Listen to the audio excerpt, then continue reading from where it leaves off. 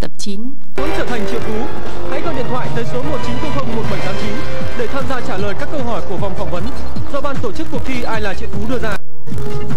Để biết thêm chi tiết, hãy gọi điện thoại tới số 1900 1789 nhánh 1 hoặc vào website www.tvad.com.vn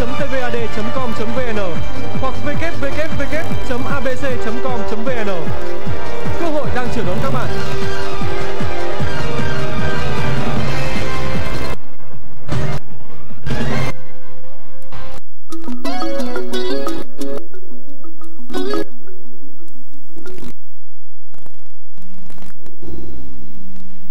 Giờ này mà hai người còn có nhã hứng âu yếm nhau, Bỏ mặc sự sống chết của lục cô nương hay sao? Cô là ai? Ta là ai không quan trọng. Điều quan trọng là sự an nguy của người bạn đã từng vào sinh ra tử với ngươi. Ý ngươi nói, tiểu nương tử của ta, Lục cô nương xảy ra chuyện gì rồi? Lý Mạc Sầu đã bắt cô ấy đi rồi, Vậy hả?